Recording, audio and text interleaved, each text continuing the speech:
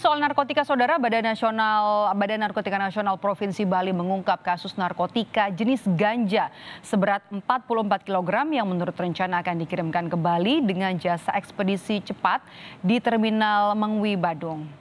Pengungkapan kasus ini terjadi pada pukul 2 lewat 30 dini hari tadi. Berlokasi di Terminal Mengwi Badung Bali, ganja seberat 44 kg ini merupakan milik dari bandar yang juga pasangan suami istri yang ditangkap di Banyuwangi, Jawa Timur. Ganja kering siap edar ini dikirim dari Medan, Sumatera Utara dengan menggunakan jasa ekspedisi melalui pelabuhan di Banyuwangi hingga ke Bali. Polisi sudah menetapkan dua orang sebagai tersangka dan dilakukan penahanan untuk pemeriksaan voor lebih lanjut